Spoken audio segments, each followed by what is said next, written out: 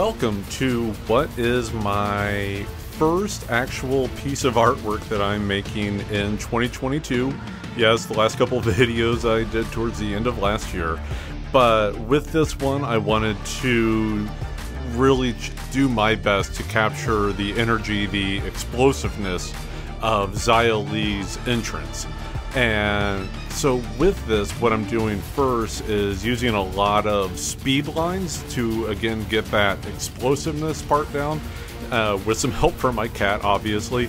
And it's more of an illustrative technique. And you know me like i don't like to do just one technique just one bit of inspiration. I want to really push things and, and bring in a lot of different influences. So once i've got the black ink down, I'm coming in with uh, something that I have never used before, which is called liquid charcoal.